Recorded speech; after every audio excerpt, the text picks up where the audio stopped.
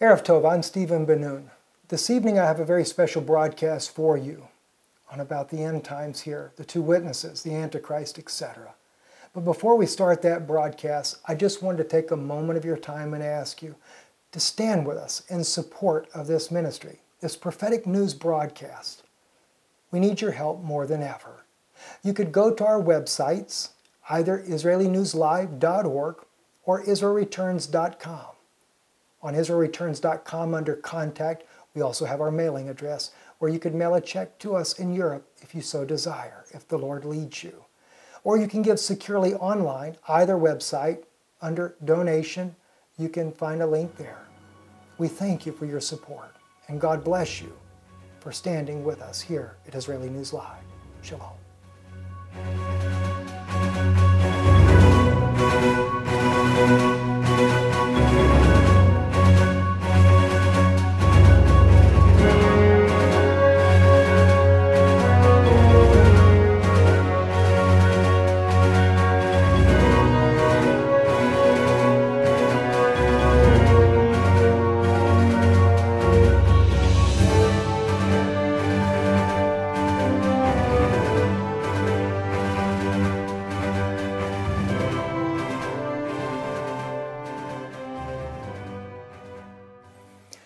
Erev Tov I'm Stephen Ben-Nun. You're watching Israeli News Live. Special segment broadcast this evening on how close are we until the end. We've been watching the news broadcasts that have been happening around the world, seeing the wars and rumors of wars. We've seen all types of prophecies that are being fulfilled by the Pope of Rome, the Vatican, etc. And of course, the great question on many people's minds are how close are we to the end? I have a feeling we're extremely close. And in tonight's broadcast, I will be looking at the ministry of the two witnesses, mainly because the scriptural basis for the two witnesses that tells us how close we are to the end. So I trust that the broadcast will be a blessing. Uh, I do know that maybe there are some that tune in for news only, and uh, therefore it may not be as enriching for you, but I am sure for those of you that have followed this ministry for years, this news broadcast, it is definitely going to be an exciting next hour or so here that we spend together. We go right on into Matthew chapter 24, verse, verses 5 through 8. This is the very famous particular scripture of Matthew that Yeshua himself, Jesus himself, actually speaks about the ending of time and the things that we would look for, what we would expect to happen as the time came to an end. He says here, For many shall come in my name, saying, I am Christ, and shall deceive many. And ye shall hear of wars and rumors of wars. See that ye be not troubled.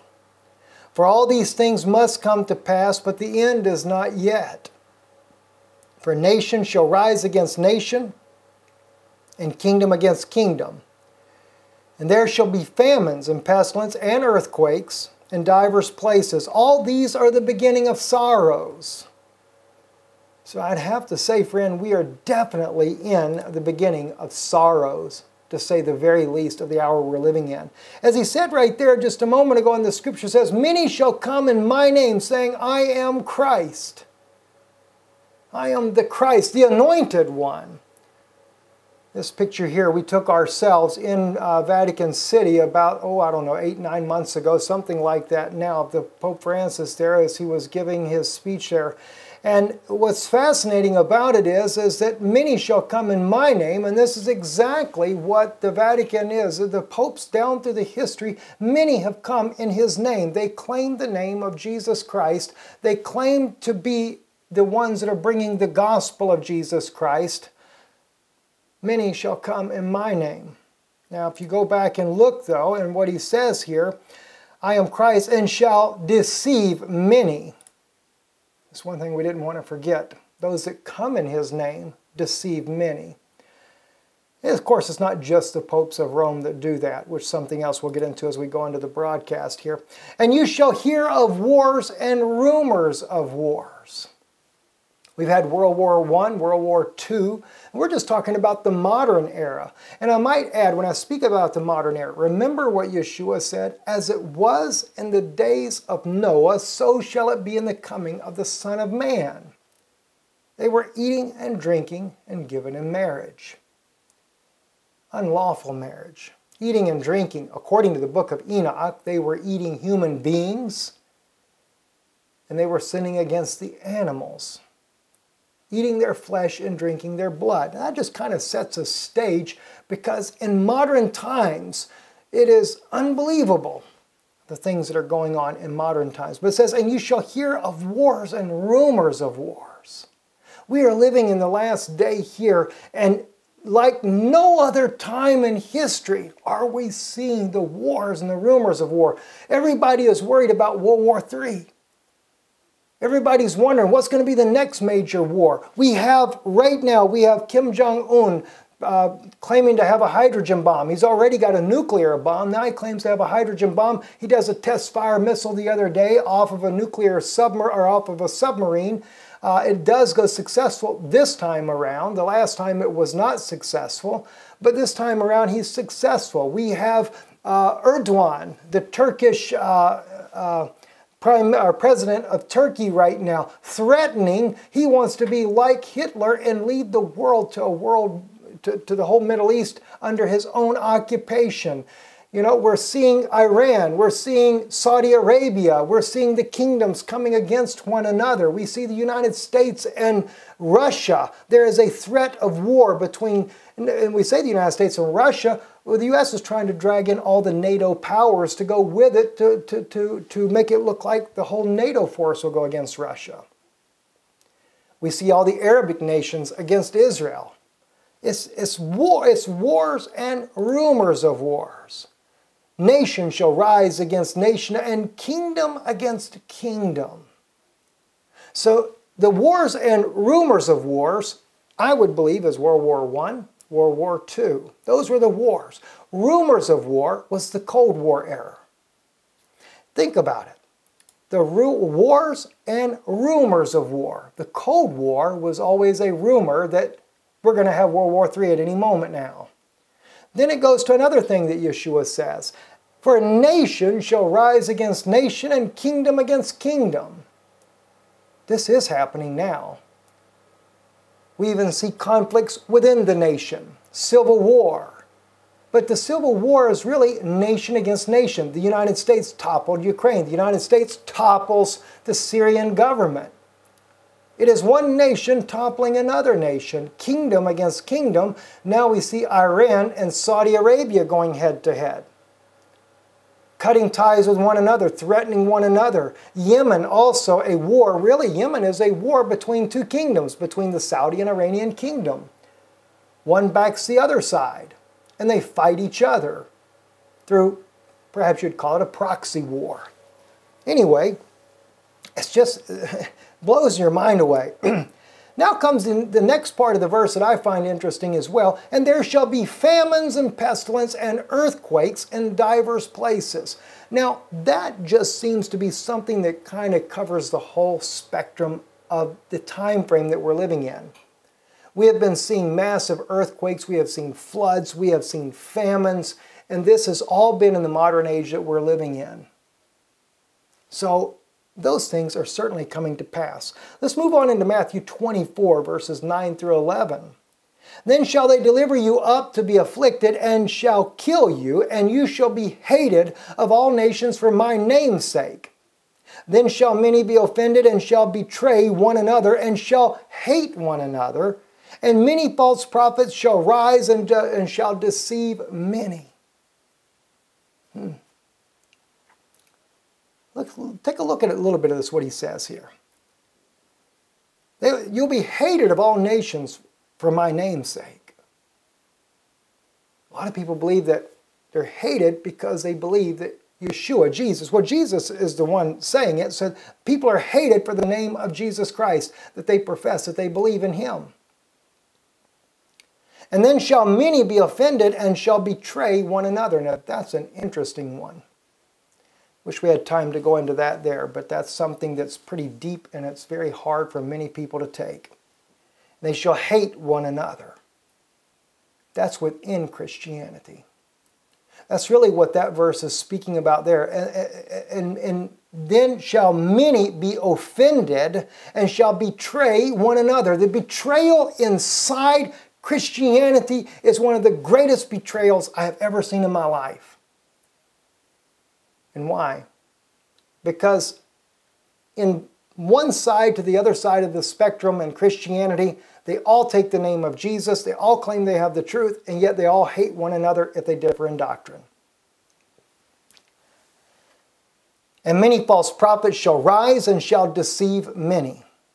We are definitely in that era now. The many false prophets that we see is very clearly, it's evident of the ecumenical move that is going on. I'm going to take you in that a little bit deeper here in just a little bit so you understand because when we get into the two witnesses, you may be surprised there is a passage that speaks of this. Pope Francis sitting here with Kenneth Copeland, many other well-known evangelical people in the circles there. We also know about Rick Warren, we have Joel Osteen, all of these evangelicals who are false prophets promoting the Vatican. I don't want to say the Pope of Rome. Pope Francis is just one of many popes. You could have another pope for, for, for all that matters. I, really wonder if we're if we're if, if, if it's not at a point now where we'll even have time to get another pope. But there is still a possibility. There was a prophecy, I was trying to find it before coming on. It is from an apocrypha book that I could not find for the life of me. I've spoke about it before. It speaks about that king of the south that rises up. Uh, if you happen to hear the video here and you remember where I got that from, please write me and tell me. Place it in the comments here. Write me an email at stephenbenoon at AOL.com. Anything to bring this back to my memory where it was at. But it speaks about that the, there would be a king that would rise up from the south. And that king would bank, bankrupt the world economy with his Roman soldiers. But then it said after that, that's when the Antichrist comes. Now, I have wondered if that king of the south, some people might think, and I even suggested it could either be Barack Obama or it could be Pope Francis. They both come from southern hemisphere uh, places in their lives, their, their backgrounds. Uh, Barack Obama is from Africa, Pope Francis from South America, Argentina. But the thing is, the Roman soldiers is NATO's military. That's the Pope of Rome's military. It even says, goes on so much in that prophecy to say that he would take from the rich and he would divide the, the, the, the that, that money with the poor. And I'm just paraphrasing that. That's exactly what the Pope of Rome has been talking about doing. But the way it's worded in there is that the Antichrist follows this particular man.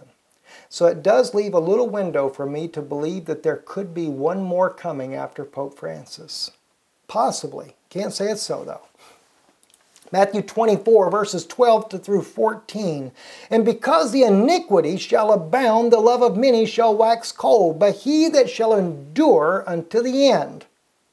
Notice that. He that will endure unto the end the same shall be saved, and this gospel of the kingdom shall be preached in all na- all excuse me in all the world for a witness unto all nations, and then shall the end come. When does the end come? After the, this gospel has been preached unto all the world, unto all nations. See? All the world for a witness unto all nations, then shall the end come. Friends, that is no that the only way this gospel that Yeshua is speaking about that gets re-brought back, it is not by the churches. It is not by the evangelical movement. It is not by the Catholic Church. It is not by any of these institutions whatsoever. Jesus himself knew that his words would be perverted he knew that, that, that, that the Catholic Church, even John knew it. He says that the Antichrist is all, he said they, they, said they went out from us because they were not of us. You see, so the Antichrist is actually a Christian, so called Christian movement. John said the Antichrist went out from us. He said there are many Antichrists even in the world now, but he spoke about the Antichrist, the singular one that was to come. So it's going to be a Christian movement, so to speak. It'll be something like what we see at the Pope of Rome. What is he doing here recently? so many of you guys sent me the video there, the Pope of Rome, and he's, he's doing this wonderful peace video here uh, to, to bring all the world's religions together and we all serve the same gods. At the very end, it's very interesting. They all hold in their hands their little emblems. One has the rosary, one has the little menorah lay in his hand, the other one has a little Buddha statue in his hand. You know, and I thought to myself, oh my God, other than the menorah, every bit of it, pagan symbols. So when this gospel of the kingdom shall be preached in all the world for a witness unto all nations, and then shall the end come. Your two witnesses bring out that gospel. Okay? Now, that's when the end comes. The end will actually come. People want to know when the end is. The end comes when the two witnesses have fin finished their testimony. You know, as many times as I've done messages about the two witnesses, sometimes I forget, I'm not paying attention myself, but do you realize that every prophecy in the Bible that speaks about the two witnesses, at the end of their ministry, it's always the final end. The judgment of God pours out upon the earth with just a few remaining days that are there. This is why in Revelation 11, when you see the coming of the two witnesses, we find out that their ministry lasts exactly, what is it, 1,200 and I believe 60 days? Now, some analysts say, well, that's three and a half years according to the Jewish calendar of 360 days a year. Well, that's true. But then something goes wrong if you think about it that way. If you're comparing that to Daniel's 70th week and you say, well, there's, there's one week left to Israel. I do disagree with that. I believe there's only half a week left to Israel. I used to agree, though. I did, I have to admit, for many years I thought as well that there was still one week left. But none of the early church fathers agree with that, and not even John Calvin or, or, or any of the uh, theologians all the way up into the time of the modern era did it ever change that there was a full week left. Most of them believed it was either fulfilled completely or only half the week was fulfilled. Many of the Apocrypha books as well speak of half the week being fulfilled already when Christ died. And the, even is written there that he put the end of the sacrifice, or to the sacrifices. So just a little thought I want to throw your way there. Now, let's take a look though. Let's go right into this. This is in Revelation chapter 11. It says right here. And there was given me a reed like unto a rod, and the angel stood saying, Rise and measure the temple of God, and the altar, and them that worship therein. But the court which is without the temple leave out and measure it not, for it is given unto the Gentiles. And the holy city shall they tread underfoot forty and two months, and I will give power unto my two witnesses, and they shall prophesy a thousand two hundred and threescore days, clothed in sackcloth. Friends, that is a simultaneous event. The same time that the Gentiles are given three and a half years, 40 and two months, is the exact same time that is given to the two witnesses. It's not two separate times. If it were two separate times, and let's say it was based on a Jewish calendar, 360 days in a year, and then you take these two statements right here and put them side by side, and then what do you have at the end? You have, an, you have exactly seven years according to a lunar calendar. But the problem is, is that the two witnesses are dead for three and a half days, their bodies raise up, and then judgment comes upon the earth. The angel pours out his vial. Then you go beyond the seven days. You go beyond the last week of Daniel that Daniel prophesies of. So something is wrong with that particular ideology.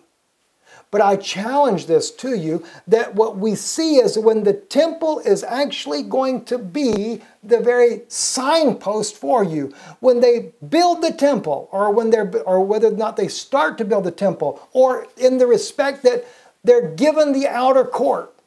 The Gentiles are, and they they and, and the holy city shall they tread underfoot for forty and two months. Jerusalem when this happens, and Rome takes control of this. Remember, we find out in Daniel's prophecy that he'll come up strong with a small people. When what? Once he made that league, this is in Daniel chapter 11, when the, when the Pope of Rome makes the league, that prince that shall come. And by the way, you find that also in Ezekiel chapter 25 when it speaks of that, that wicked, Jew, uh, that wicked uh, Jewish prince, I believe is what it's called.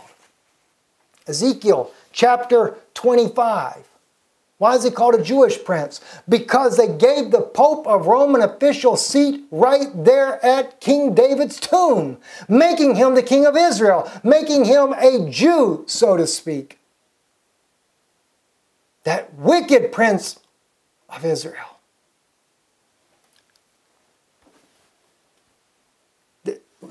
See, you crown him a prince.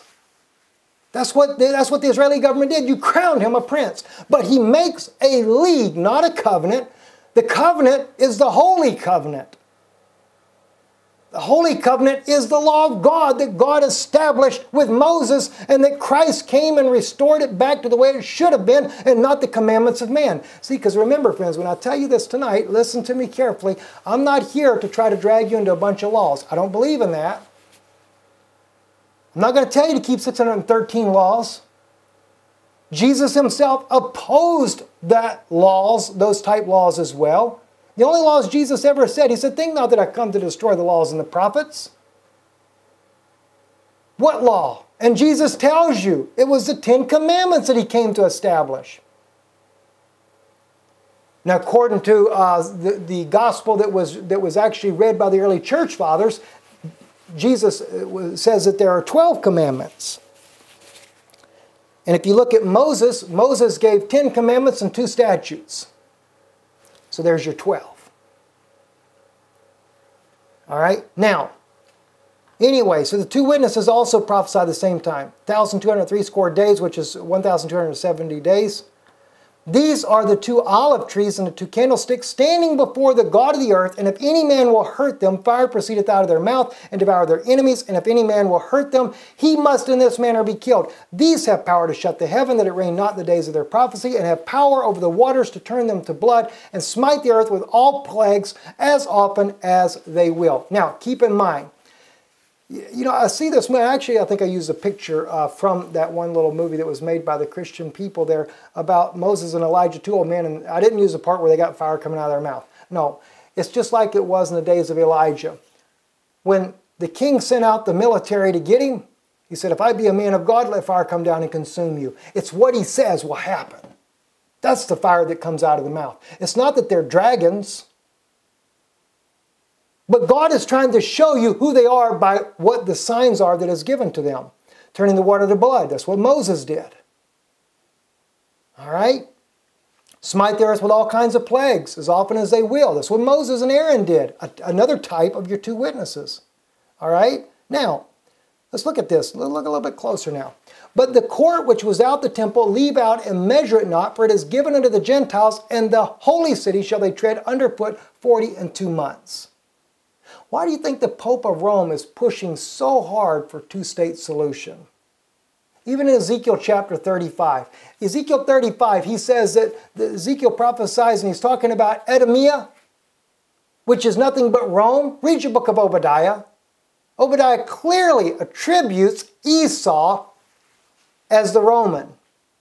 And the reason why we know this, because he said you stood aloof, you know, while your brother was, was destroyed and, and you were as one of them. And it calls him Esau the entire time, but what's he describing? He's describing the destruction of the temple at 70 AD when Titus, the Roman general, came down, and Titus was not by himself. He used the Syrian army to help him to do the battle. And what happened? Titus set, aside while the Syrians did all their ransacking of Jerusalem. That's what Obadiah is speaking about. And God puts the blame on Esau. And yet, clearly, by the prophecy, you know Obadiah is speaking about Titus, the Roman general. Remember what Daniel says? Chapter 9. After he speaks about the anointed prince, which was Yeshua, and how the anointed prince, prince would be cut off at the, at the end of the 69th week, or after, actually, it says after the 69th week which means he was cut off in the middle. And what did he say? And the prince that shall come will be of the people, or, or, or, a prince shall come who will be of the people who destroyed the temple and the sanctuary. The prince that shall come. That's your, that's your, that's your fake prince. That is your false prince, so to speak. All right? So he's given that he's given that. It's given unto the Gentiles. And as you can see in the photo on your screen right here, you got Pope Francis here on the screen on the Temple Mount with all the Palestinians. There's your Gentiles. They want it. They're going to get it. And I will give power unto my two witnesses, and they shall prophesy a thousand two hundred and three score days, clothed in sackcloth, simultaneously, as I said. Now, I want you to notice something though in Revelation. And I just really pray that you guys are able to see these scriptures clearly.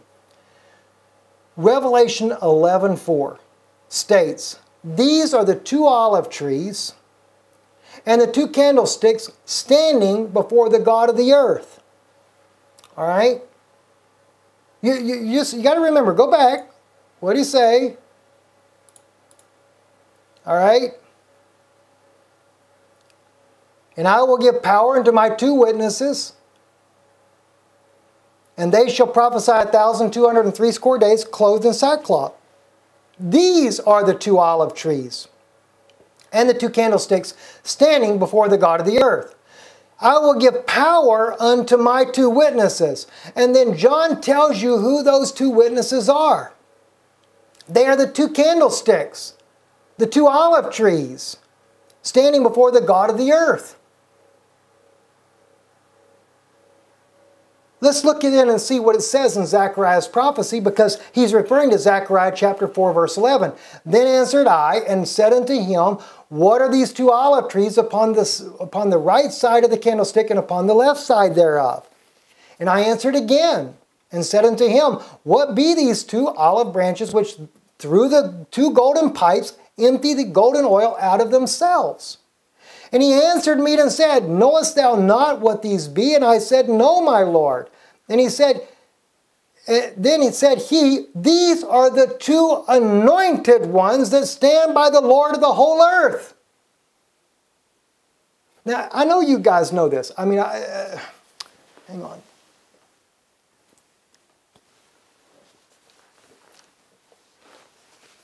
I realize you guys are already aware of that. I know that you know because we read it right there in Revelation 11:4. These are the two olive trees, the two candlesticks standing before the God of the earth.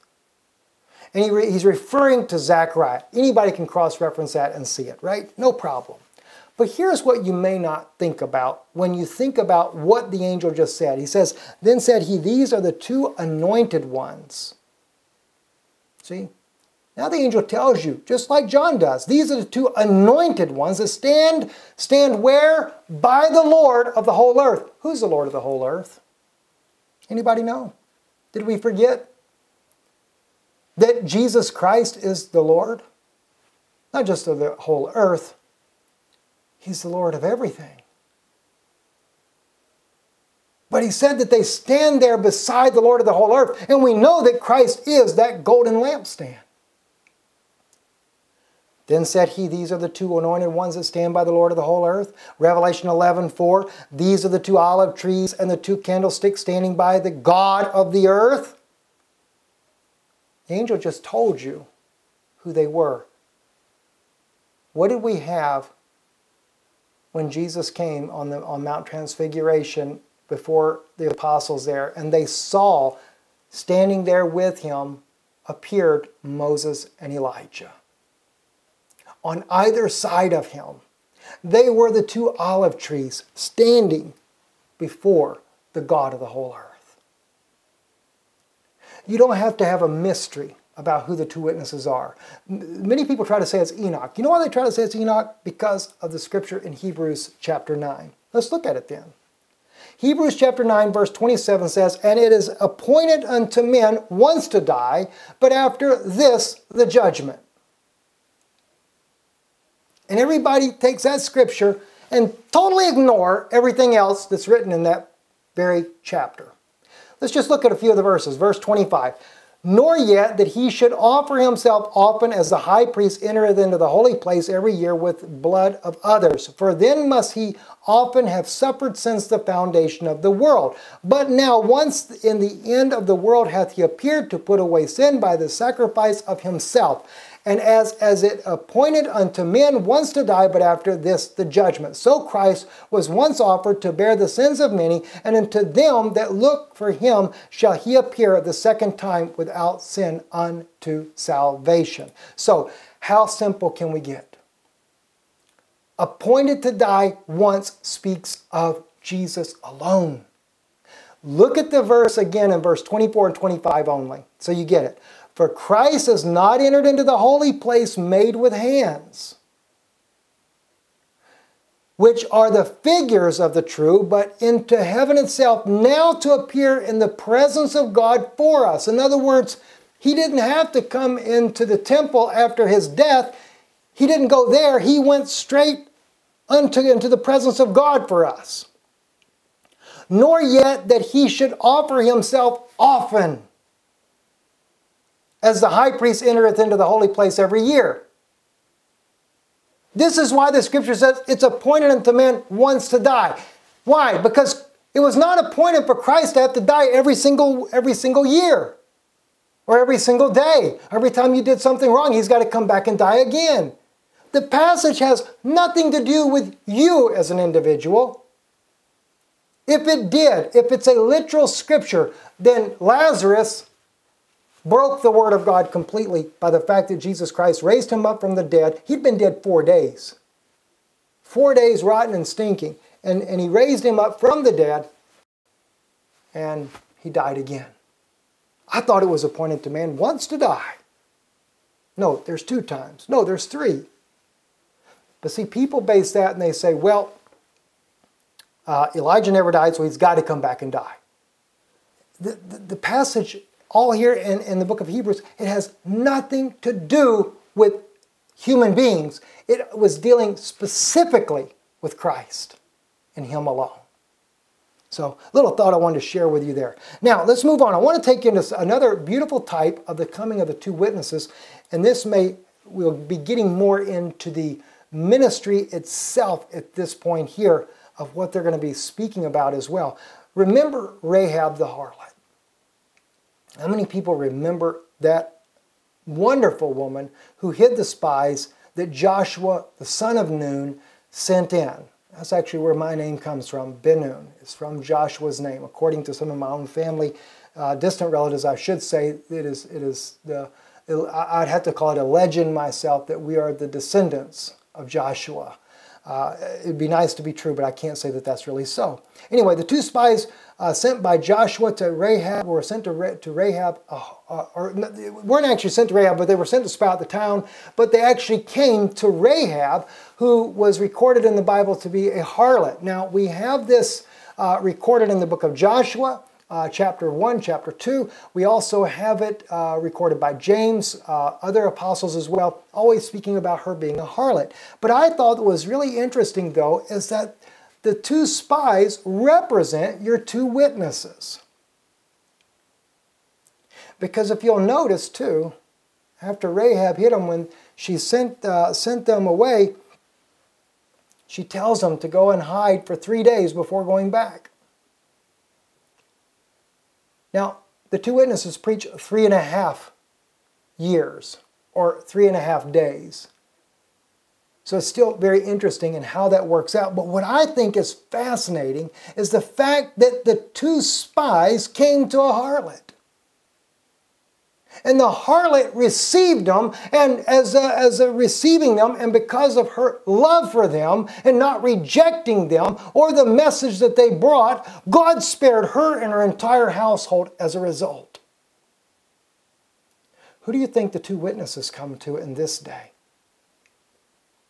If the two witnesses are coming to bring judgment upon Rome, and remember Revelation 18:4 says, Come out of her, my be people, and be not partakers of her sins or her plagues, her sins and her plagues. See, I'm just paraphrasing.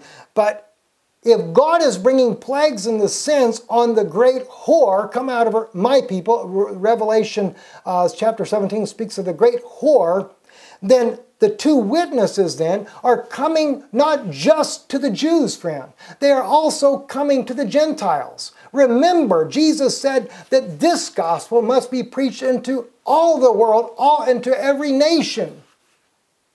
Then the end will come. Again, paraphrasing. We already spoke about it a little bit earlier. But do you realize that the two witnesses come to the harlot church today? To restore back the Word of God Bear with me as I share with this to you. Revelation 17, 1 through 6. And there came one of seven angels which had the seven vials and talked with me, saying unto me, Come hither, I will show unto thee the judgment of the great whore that sitteth upon many waters, with whom the kings of the earth have committed fornication, and the inhabitants of the earth have, made, have been made drunk with the wine of her fornication. So he carried me away in the spirit in the wilderness, and I saw a woman sit upon a scarlet colored beast, full of names of blasphemy having seven heads and ten horns. And the woman was arrayed in purple and scarlet color, and decked with gold and precious stones and pearls, having a golden cup in her hand, full of abominations of filthiness of her fornication. Man, there's your communion cup that the Vatican uses. The communion definitely has nothing wrong with communion.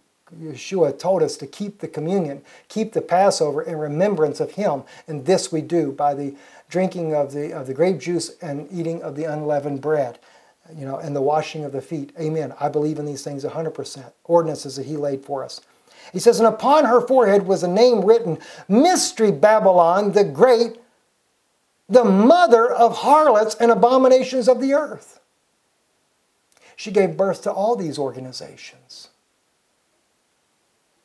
And even though there's many good people, even in the Catholic Church, Methodists, Baptists, Presbyterians, Pentecostals, whatever you have, and it says, notice this, she's the mother of harlots and abominations of the earth. Abominations are what?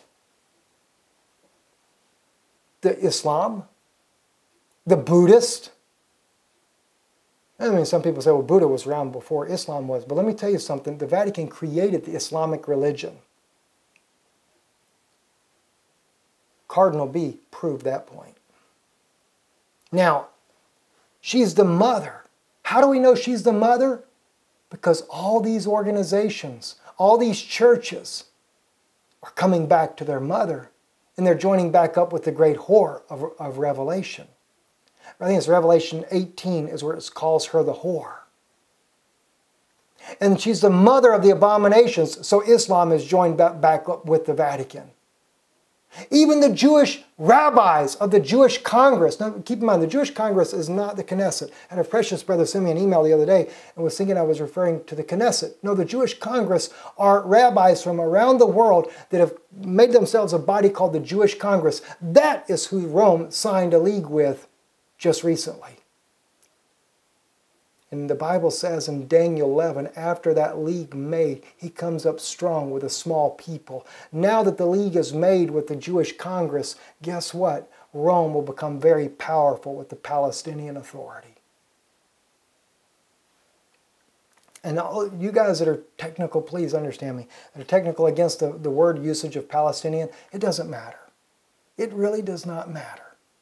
For God's kingdom is not of this world. He's got a heavenly kingdom. And I saw the woman drunken with the blood of the saints and with the blood of the martyrs of Jesus. Yes. You remember Constantine when he helped organize the Catholic Church, put together their first state Bible, everything else? Then they went and made war the Crusades, not just to kill the Jews, friends. They went there to kill all the early believers in Yeshua that kept the commandments of God. They murdered them. Anyway, the two witnesses are coming to the harlot Rahab of our day. According to Matthew 23, verse 34, For John came unto you in the way of righteousness, and you believed him not. But the publicans and the harlots believed him. And you when you had seen it, repented not afterward that you might believe him. You see, isn't that beautiful? John came to you in the way of righteousness, and you believed him not, but the publicans and the harlots believed him. Why do you think the two witnesses will come to the harlots of today, the Rahabs of today. See, a harlot isn't always a bad thing. She just got mixed up. There's many, and I don't say that every Christian is a harlot. Please don't get me wrong. I'm talking about the system, the organizations themselves. That's what's evil. Zechariah sees this event as well. Zechariah 8:23 says, Thus saith the Lord of hosts, in those days it shall come to pass that ten men shall take hold out of all the languages of the nations, even shall take hold of the skirt of him that is a Jew, saying, We will go with you, for we have heard that God is with you. How do they how do they find out that God is with? See, they, they take hold of the skirt of him that is a Jew, ten people of the nations.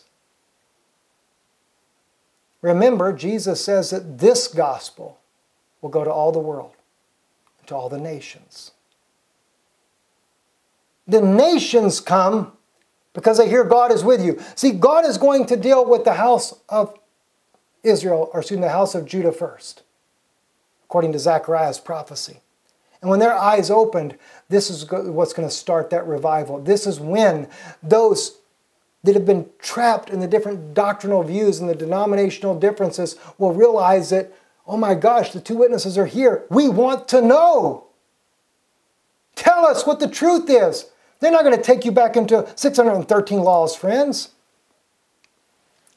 Zechariah 12:10, and I will pour upon the house of David and upon the inhabitants of Jerusalem the spirit of grace and supplication, and they shall look upon me whom they have pierced or whom they have thrust through. Jesus' side was thrust through with a spear by who? The Romans. You know what's interesting? Both Jews and Gentiles were guilty of his death. Not just the Jews. You can't blame it all on the Jews. You see, the Romans were afraid that he would take over with the authority, but that's not what Jesus came to do. He was coming to set up, he, he knew that he was going to leave like this. But the Romans were guilty of his death. The Jews were guilty of handing him over because they did not like the gospel that he preached. They didn't like it when he loosed all the animals and let them go free and destroyed their livelihoods. That'd be the same thing today. That's another reason why people hate the idea of vegan or vegetarians or whatever, because they don't want to destroy the multi billion dollar industry of killing an animal. Think about it.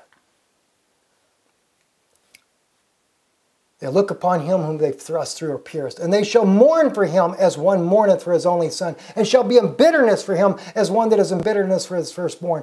In that day shall there be a great mourning in Jerusalem as the mourning of uh, Had Hadramimon in the valley of Megiddon, and the land shall mourn every family apart, the family of the house of David apart, and their wives apart, the family of the house of Nathan apart, their wives apart, the family of the house of Levi apart, their wives apart, and the family of Shimei apart, and their wives apart. All the families that remain, every family apart, and their wives apart. That's Orthodox tradition, friends. So those of you that condemn the Orthodox Jews, believe me, there's some Orthodox Jews that are going to end up believing that Yeshua is indeed the Messiah. It's what he says here is called by family names because they don't know what tribes they belong to for sure. Levi, Nathan, David, it's the house of Judah, Shimei, the house of Benjamin. We did some beautiful messages on the types of this from the from the book of Kings, where David uh, is such a beautiful type. You should, guys, if you get a chance, go back and look those up. They're really wonderful messages. What is happening before Israel's eyes open? What's going to happen before Israel's eyes come open? That's another interesting thing. As you see by the photo here, United Nations have Israel in the crosshairs. They definitely want to destroy Israel, if at all possible. Zechariah 12, 2, Behold, I will make Jerusalem a cup of trembling unto the people around about, when they shall be in the siege both against Judah and against Jerusalem. If you notice that, they're in siege against Jerusalem and Judah. And you know that's exactly what we're dealing with today. Judah and Samaria and Jerusalem is where all the contention is. Do you know the Palestinians don't even make that big of an issue over Tel Aviv or Haifa, any of these places? The big issue, even for the Vatican, is Judah, Samaria, or as we said, Judah and Samaria and Jerusalem. This is where all the contention is. The people around then, when, when they shall be in siege both against Judah and Jerusalem. I want to make, uh, he says, I'll make Jerusalem a cup of trembling unto all people round about. Because everybody wants it. The two witnesses come to both Jew and Gentile, as we've already stated here. Matthew 24 14 proves this. And this gospel of the kingdom shall be preached in all the world for a witness unto all nations. Then shall the end come. And as I stated, only the two witnesses can make that happen. I want to look a bit a little look a little bit next about Moses and the unfulfilled prophecies. In Exodus chapter 4, it states here, verse 8, And it shall come to pass, if they will not believe thee, neither hearken to the voice of the first sign, that they will believe the voice of the latter sign. Now, just to kind of recap this for you guys that may not be aware of this here, if you go back into Exodus starting in chapter 3, this is where Moses has come. He's met God at the burning bush. God has commanded him to take off his shoes. He takes off his shoes. He's amazed. He's meeting with God. One of the most interesting things that Moses does ask God at that time as well, he says, They will ask me, What is his name? What do I tell them? And then God answers Moses, Tell them, Asha Ihaye Shalachani. I am that I am has sent you. All right? And the funny thing is, I've always noticed that they never asked, nowhere can we find in the canon of the Bible that they ever asked Moses what was God's name.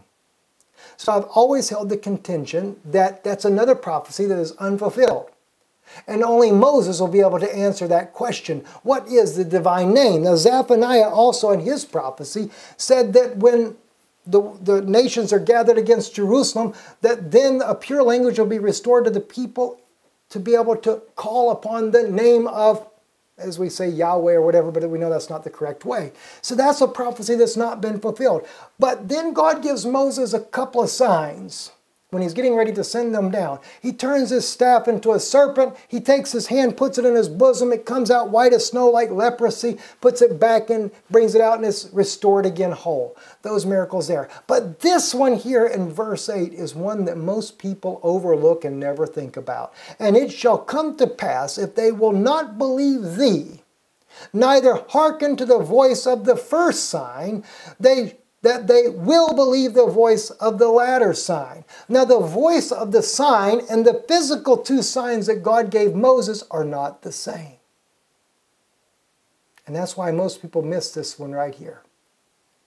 Now, see, what are we doing? We want to establish unfulfilled prophecies about Moses because it also reaffirms for you not just the fact that we say, uh, you know, it's appointed unto man once to die and after this the judgment, and then show you that that's speaking about Jesus has nothing to do with the fact that, uh, that uh, Enoch and Elijah have to come back. That's totally false. We've already proven without any shadow of a doubt by Zechariah's prophecy, by the book of Revelation, those two witnesses are the two that are standing by, by, the, by the God of the earth, by the Lord of the earth. And in the vision where Jesus stands there on Mount Transfiguration, on both sides of the Lord of the earth stand Moses and Elijah. There's your prophecy. There's who your two witnesses are. But we have more scriptures that can prove who they are. This is another example. God says to Moses, It shall come to pass if they will not believe you, neither hear or hearken to the voice of the first sign, his voice is that sign. In other words, whatever Moses says comes to pass. And if they don't believe that, God says they shall, that they will believe the voice of the latter sign. Whoa, wait a minute. You know, it's almost, you know, if you're not paying attention, it's as if you make God schizophrenic. God's saying, okay, they may not believe you now, but they're going to believe you later. God knew they were not going to believe Moses the first time. Let me prove that to you from David's writings. David tells us Israel did not believe Moses at all. We find that in Psalm 106. Therefore he said that he would destroy them that had not Moses, his chosen, stood before him in the breach to turn away his wrath, lest he should destroy them. Yea, they despised the pleasant land. They believed not his word. What was it? If they don't believe the voice of the first sign. if they see if they will not believe you, neither hearken to the voice of the first sign, they will believe the voice of the latter sign. What did he say there? They believed not his word. Verse 24. But murmured in their tents and hearkened not unto the voice of the Lord. Moses was the voice of God to them. Therefore, he lifted up his hand against them to overthrow them in the wilderness, to overthrow their seed also among the nations, and to scatter them in the lands. Mm.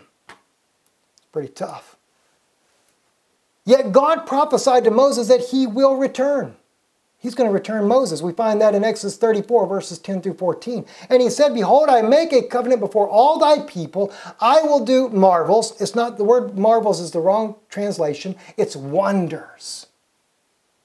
Such as have not been done in all the earth, nor in any nation, and all the people among which thou art shall see the work of the Lord. For it is a terrible thing that I will do with you. Observe that which I command you this day. Behold, I drive out before you the Amorite, the Canaanite, and the, the Hittite, the Perizzite, and the Hivite, and the Jebusite. Take heed to yourself, lest you make a covenant with the inhabitants of the land, whether you go, lest it be for a snare in the midst of thee. But you shall destroy their altars, break their images, cut down their groves, for thou shalt worship no other God. Wait a minute. Moses knew before this prophecy was ever given, he was not going into the promised land. He said it publicly. He said it publicly in the book of Deuteronomy right after the breaking of the right after the giving of the Ten Commandments off of Mount Horeb. He said that God's not going to let me go into the land because of you. So what's this here? And he said, Behold, I make a covenant before all your people, thy people, I will do wonders, such as have not been done in all the earth, nor in any nation, and all the people among which thou art shall see the work of the Lord. He's not talking about the children of Israel there. And as the rabbis have even said, the sages, everyone that has ever talked about the scripture, that's why they changed the word to marvels. He said because he couldn't do any great, there was never any greater wonders. There was never some terrible thing that ever happened like the splitting of the Red Sea or the great judgments of God. See, the thing was that my Jewish brethren, you didn't have the book of Revelation. You didn't have the prophecies of, uh, of John that spoke of the coming of the two witnesses. Well, you did, but you didn't quite understand what they were. Daniel didn't even understand it. Daniel had no idea that he was prophesying of the two witnesses. In fact, in the book of Daniel is where the same word in Hebrew is used there. I'll just show you real quick. That word, you see it underlined here. I know you guys don't understand. Nipalat. Okay? This, the, there, uh, if you, to, gosh, I don't know how you guys see it on your screen. Anyway, right to left is how Hebrew goes. The one that underlined, Nun Pe Lamed Aleph Tav. The Pe Lamed, Lamed Aleph is the root of this word right here. That's the word that means wonders. And that's the exact same word that God uses with Moses in Exodus 34 as he does in the book of Daniel when Daniel the, the man one of the two men that asked the one that is standing up on the above the waters and says how long do these wonders are they going to go on and what does the, uh, the the one standing on the water say or above the waters, which is none other than Jesus, for times time and a half time, three and a half years. My gosh, friends. This, I know it's long. Please forgive me. Bear with me, though. This is very important. Very important that you guys hear this. You don't, I'm telling you, you're not going to want to miss the end either. You really don't want to miss the end. But Moses already knew he would not go to the promised land of Israel. See? We find that out in Deuteronomy, the first chapter, verse 37. Also, the Lord was angry with me for your sake, saying, Thou also shalt not go in thither. But Joshua, the son of Nun, which standeth before thee, he shall go in thither. Encourage him, for he shall cause Israel to inherit it. Amazing. See, he knew he wasn't going. The message that Moses will bring is a message of restoration. The two witnesses bring a, a message of restoration. It says, Now therefore hearken, O Israel, and to the statutes and to, and to judgments which I teach you. For I do them that you may live and go in and possess the land, which the Lord God of your fathers giveth you. You shall not add unto, unto the word which I command you, neither shall you diminish aught from it, that you may keep the commandments of the Lord your God which I command you. Question is, is what did Moses command? What were those commandments? And he declared unto you his covenant, which he commanded you to perform, even the Ten Commandments, and he wrote them upon the two tables of stone. And the Lord commanded me at that time to teach you statutes and judgments that you might do them in the land, whether you go over to possess it. Now, when you actually look, and you can go back, read Deuteronomy from chapter 1, go all the way to chapter 6, I believe is where it is you will not find anywhere there was ever given more than 10 commandments and two statutes. In fact, when he was completed in doing this, and I, will just read it to you real quickly, he literally says, Do not add anything else to it. That was it. It was done. That is in chapter 5, verse 22. He completes it. He says, Neither shalt thou desire thy neighbor's wife, neither shalt thou covet thy neighbor's house, his field, or his manservant, or his maidservant, his ox, or his ass, or anything that is thy neighbor's. These words the Lord spoke unto all your assembly in the mount of uh, at the out of the midst of the fire. Um, the fire of the cloud and the thick darkness and great with a great voice and he added no more he wrote them on two tables of stones and delivered them unto me. He didn't add anything else. Why then do we need to add something to it? Jesus speaks the commandments as well. Let's just look at what he says. Because that's why I say, I'm, I'm not saying, you know, because people say, oh, Jesus, is it's grace only. We're no longer under the law. Let's see what Jesus says. I, I pulled up, what is it, three, four, five, six verses here that Jesus speaks about this. And Jesus answered him, The first of all the commandments is, Hear, O Israel, the Lord our God is one Lord. That's right from Moses' Ten Commandments. Jesus answers him and says that. Luke 1 6, and they were both righteous before God, walking in all the commandments and ordinances of the Lord blameless. Luke 18 20, thou knowest the commandments do not commit adultery, do not kill, do not steal, do not bear false witness, honor thy father and thy mother. Jesus is not giving you the 613. He's only given, because see, what was it? That was the rich young ruler that asked, Lord, what must I do in order to receive eternal life? He said, You know the commandments. He said, Yeah, I did this since my youth, but what do I lack? He said, Go and sell what you have and give it to the poor, because he knew he had, he had great abundance. In other words, share. Share what you have with those that are in need. You know, and one of the Apocryphas, he actually says to him, he challenges this same, the same story. When he started to go away dis disappointed, Jesus challenged that rich young ruler. And he said, And you say you have kept the Ten Commandments? He says, Yea, you have not. John 14, 15. If you love me, keep my commandments. Lionel Parkinson made a good comment about that not long ago. He said, said to me, he says, What commandments is John talking about? Jesus has his own commandments. He says, What are they? 1421 He that hath my commandments and keepeth them, he it is that loveth me, and he that loveth me shall be loved of my Father, and I will love him and will and will manifest myself to him. John 15, verse 10. If you keep my commandments, you shall abide in my love, even as I have kept my Father's commandments and abide in his love. Now we go into the apostles. John speaks of it here. And hereby we know that we, that we know him if we keep his commandments. He that saith, 1 John 2 4, he that saith, I know him and keepeth not his commandments is a liar, and the truth is not in him. John, 1 John 5 2, by this we know that we love the children of God when we love God and keep his commandments. Again, I'm not giving you Levitical law. I'm not that Levitical law happened because the people, the, the children of Israel rejected the commandments of God. They wanted a whole bunch of rules and regulations. God's not into the rules and regulations. Believe on the Lord Jesus Christ. And you and your house shall be saved. And if you truly believe upon the Lord Jesus Christ, you will also keep his word. All right? Revelation 12, 17, and the dragon was wroth with the woman and went to make war with the remnant of her seed, which keep the commandments of God and have the testimony of Jesus Christ. That's pretty good. Here's the patience of the saints. Here are they that keep the commandments of God and the faith of Jesus.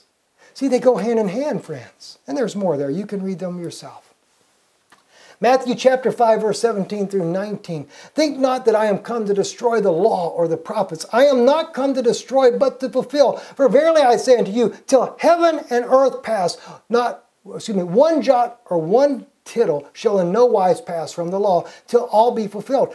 Whosoever therefore shall break one of these least commandments and shall teach men so, he shall be called the least in the kingdom of heaven. But he but but whosoever shall do and teach them, the same shall be called great in the kingdom of heaven.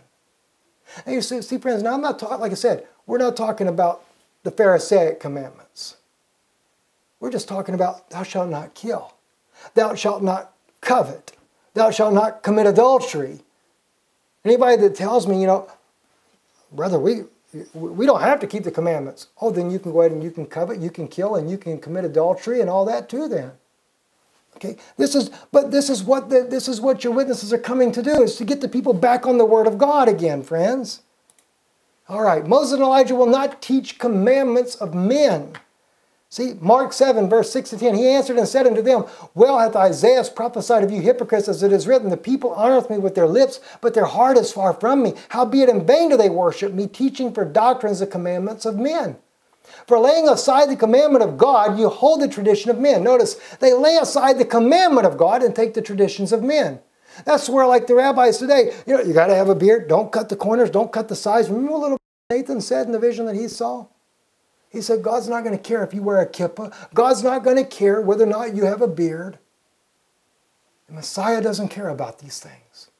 Those is what he's talking about. And he said unto them, Full well you reject the commandment of God that you keep your own tradition. For Moses said, Honor thy father and thy mother, and whosoever curses father and mother, let him die the death. Mm. Jesus prophesies of Elijah's return as well. Let's look at that one as well. And the disciples asked him, saying, When then say the scribes that Elias must first come? That's Elijah, Greek for Elijah. And Jesus answered and said unto them, Elias truly shall first come and restore all things. So something definitely gets out of cater, doesn't it? But I say unto you that Elias has come already, and they knew not, but have done unto him whatsoever they listed. Now, the prophecy of Moses returning is right here. We find it in Exodus chapter 15, verse uh, 1.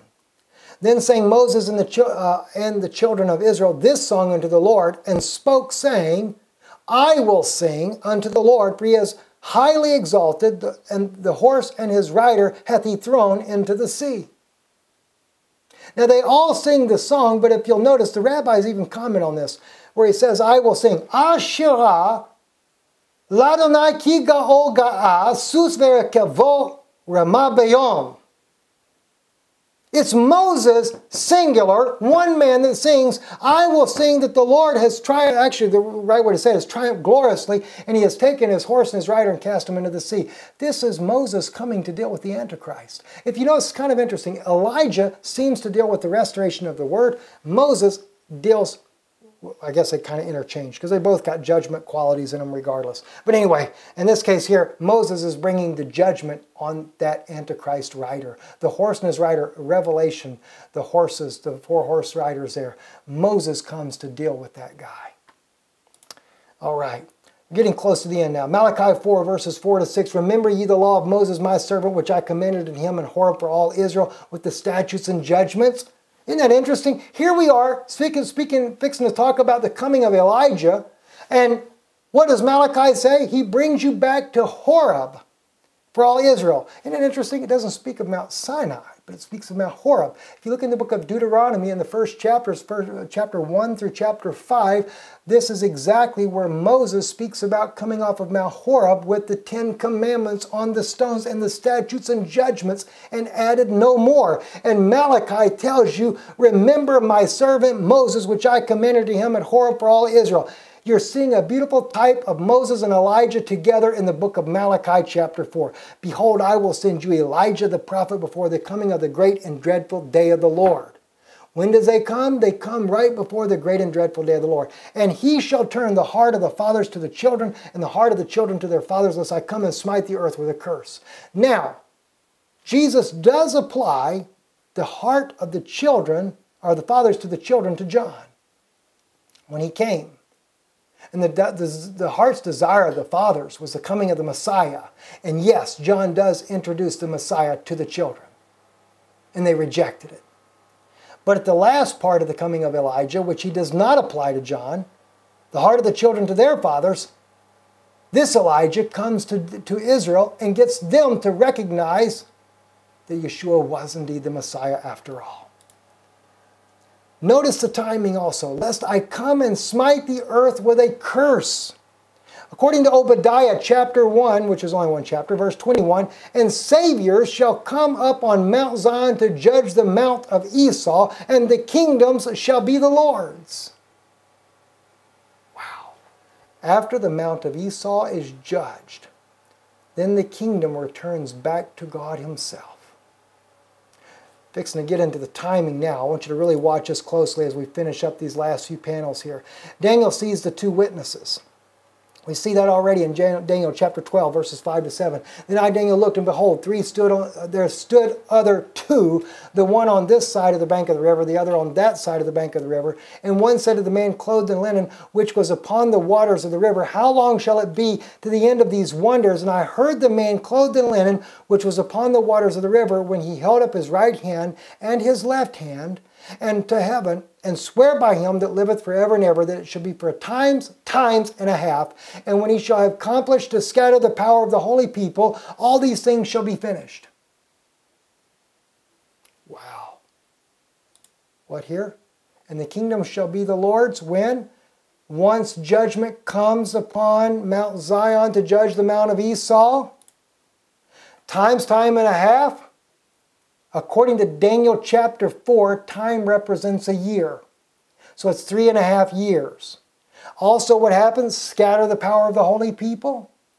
That's your Antichrist. Remember what I said earlier? According to Revelation 11, they're working simultaneously. The same time the two witnesses are working, so is the Antichrist to scatter the power of the holy people. All these things shall be finished at the end of that three and a half years. And he also asks, How long shall it be to the end of these wonders? Remember what I said to you about Moses. Exodus chapter 34, verse 10. I, God prophesies that he'll do wonders with Moses. Not marvels, wonders. There it is, Daniel. Now, see, Daniel doesn't know what's going on. Now, let's go back to Revelation 11 after the two witnesses are killed. And after three days and a half, the spirit of life from God entered into them. Remember what he just said in Daniel here. See? Times time and a half time. That's three and a half years. After three days and a half, the spirit of life from God entered into them. Is there again another type. And they stood upon their feet, and great fear fell upon them which saw them. And they heard a great voice from heaven saying to them, Come up hither. And they ascended up into heaven in a cloud, and their enemies beheld them. And the same hour was there a great earthquake, and tenth part of the city fell. And the earthquake were slain of men seven thousand, and the remnant were affrighted and gave glory to the God of heaven. In Revelation 11 15, this is when judgment has come. And the seventh angel sounded, and there were great voices in heaven, saying, The kingdoms of this world are become the kingdoms of our Lord and of his Christ, and he shall reign forever and ever. When does that happen? Right after the death of the two witnesses. Actually, That's the second woe. The third woe cometh quickly, which happens for about the space of 10 days, is the third woe. But while that's going on, that angel sounds out right after the death of the witnesses that the kingdoms of this world are become the kingdoms of our Lord. All right? What, did, what, did, what, what happened over in Obadiah?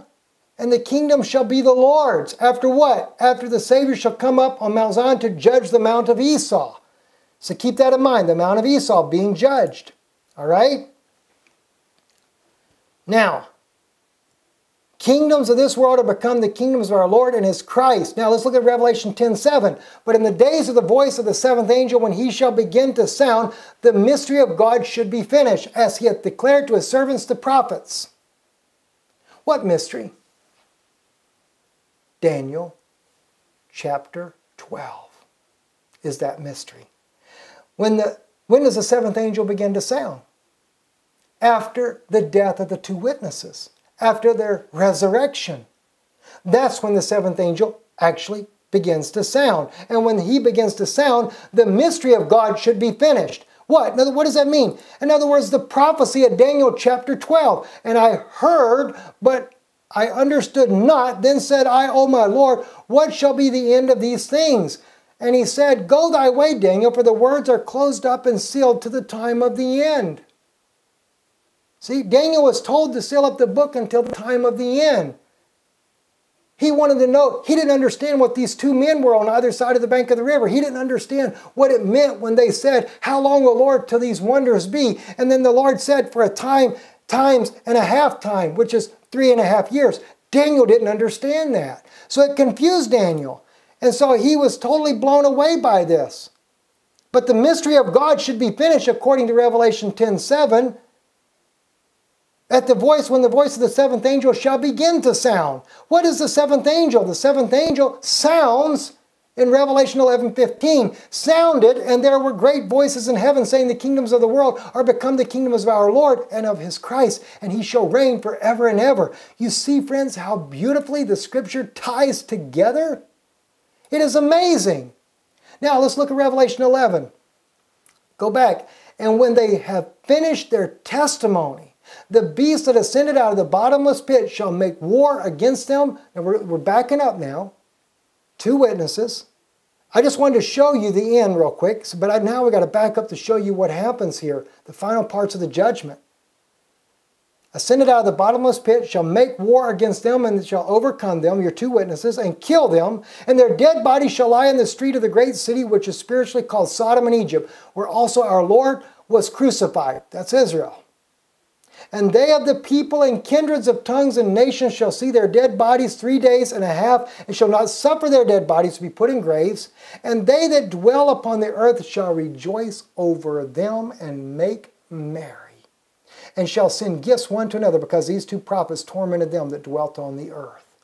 Hmm. This is a very critical scripture that you got to see next. The death of the two witnesses brings God's judgment on Rome. Like I said, friends, it, their reign, the Antichrist and the two witnesses, are going to go side by side. Because according to the Bible, after the death of the two witnesses, the Bible clearly tells us that the, kingdoms of, the kingdom of God goes back into his Christ.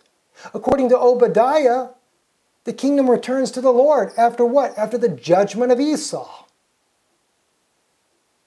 And so we see the death of the two witnesses. The seventh angel sounds. The mystery of God is finished according to, to Revelation 10 7. When the angel shall begin to sound, the mysteries of God should be finished. As he had declared to his servants the prophets. Well, I know Daniel speaks of those mysteries. And that mystery was the coming of the two witnesses and their ministry. All right? Now, we just found out that and they that dwell upon the earth shall rejoice over them and make merry what? At the death of the two witnesses. So let's see what happens in ezekiel chapter 35 because thou hast said these two nations and these two countries shall be mine. He's speaking of the dividing of israel into a two-state solution. And we will possess it whereas the lord was there showing that christ was there yeshua himself that tells us it's israel. It's jerusalem actually in fact dividing of Jerusalem. Therefore, as I live, saith the Lord God, I will even do according to thine anger and according to thy envy, which thou hast used out of thy hatred against them. And I will make myself known among them. Talking about the Jews. When I have judged thee, judged who? Esau, Rome, Edom, Okay? And thou shalt know that I am the Lord, and that I have heard all thy blasphemies which thou hast spoken against the mountains of Israel, saying, They are laid desolate, they are given us to consume. Thus with your mouth you have boasted against me, and have multiplied your words against me. I have heard them. Thus saith the Lord God, when the whole earth rejoiceth, I will make thee desolate as thou did rejoice at the inheritance of the house of Israel because it was desolate. Obadiah, the whole book of Obadiah clearly shows that they were rejoicing over the destruction of the house of Judah. And that's what he brings out. The house, see, as thou didst rejoice in the inheritance of the house of Israel because it was desolate, so will I do unto thee. Thou shalt be desolate, O Mount Seir, and all Edomia, even all of it, and they shall know that I am the Lord. So when the whole earth rejoices, and the only place we have scripturally that tells us the whole earth rejoices is at the death of the two witnesses. And that's also the same time that God brings the end to Rome. The Antichrist, in his reign, will cease. And that perfectly then lines up with the scripture that speaks about the mystery of God should be finished. That mystery, Revelation 11:15, after the seventh angel sounded, according to Revelation 10:7, then the great voices in heaven saying, The kingdom of this world are become the kingdoms of our Lord and his Christ, and he shall reign forever and ever. Friend, you're at the closing hours of all humanity. We started off this broadcast talking about Matthew 24, where Jesus said the signs of things that would happen nation rising against nation, kingdom against kingdom. These were the beginning of wars and rumors of wars. As we said, wars and rumors of wars. World War I, World War II, and the Cold War era is the rumor of wars. Nation rises up against nation, kingdom against kingdom. That's what's happening right now. The Saudi kingdom and the Iranian kingdom rising against one another. The Turkish kingdom. The nations the United Nations fighting against other nations, Russia, the threat of war between them, all the little small nations, they're going up against each other. Prophecies are being fulfilled, friends, constantly before your eyes every day. You see, all these things here are what happen, and at the same time, right at that time frame, Jesus says these were the beginning of sorrows. He speaks about the famines and the earthquakes in diverse places. That was as a whole. That encompasses the entire age that we live in. But what's going to happen now, what we're on the precipice of now, are the coming of your two witnesses. At the same time, your Antichrist will rise on, to, on the scene as well. It's a showdown between them both. Remember, according to the prophecy, and I believe this Obadiah's prophecy. Let's see where I can find it for you just real quick here. Um, in Obadiah, yes. And saviors shall come up on Mount Zion to judge the mount of Esau, and the kingdom shall be the Lord's. It's a three and a half year judgment. This, the key sign to all of this seems to be the building of the third temple. He was given a reed likened to a rod. He said, Measure the temple, measure the altar. But leave out the outer court, for it's given to the Gentiles, and they shall tread the holy city underfoot for forty and two months, three and a half years. Then he says, And I give power unto my two witnesses, and they will prophesy 1,260 days. We're at that closing hour. If you do not know Yeshua to be your Savior, I encourage you with all of my heart that you seek Him with all of your heart and know Jesus Christ to be your Savior tonight while there's still time. And let me tell you something, even when the two witnesses come, there's going to be time, friends. Jesus says this gospel has to go to all the world, to all the nations. Then the end will come. I do believe that the church sees as I showed you a proof. The two spies, a type of the two witnesses, they come to the harlot. But she receives them gladly. That true believer will receive them gladly. As we saw, the ten, the ten people of the nation shall take hold of the skirt of him that is a Jew. Show us what the truth is, is really what we should be looking for. Believe Yeshua to be your Messiah. Believe these two witnesses when they come. And they will direct you back not to 613 laws, but they will teach you to keep the commandments of God that He laid down. Thou shalt not kill. Thou shalt not commit adultery. The Lord thy God is one God. The simplicity of God's laws that God gave Moses. Thank you for watching this evening. And we encourage you, be a partner with us in this ministry. We need your support. There's much that we're about to do. We're about to again go on the road, not for family matters, but for the purpose of ministry and news and coverage as these great things of God are going to be breaking here in the last days. We will be on the front lines to cover things for you. This is why we live where we live. We will be going to the refugees to see the refugee camps, the Syrian refugees, the different refugees from the different war torn countries. We'll be going back to where the great whore lives.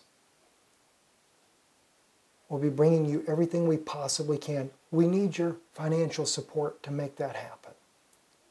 And I know we're in a late hour, and I know financial situations around the world are a very big issue right now. But if you really want to support something that is true, because many of you believe that what we do is straight from our heart, not to be someone, stand with us, support this ministry. You can give online at israelreturns.com or israelnewslive.org. At israelreturns.com, under contacts is our address. I will include that also at the end of this broadcast. We thank you for your love and support. Pray for us we will be praying for you as we enter in this final stretch of going home to be with our Lord and King, the Lord Jesus Christ. I'm Stephen Ben-Nun. You have been watching Israeli News Live, our prophetic segment.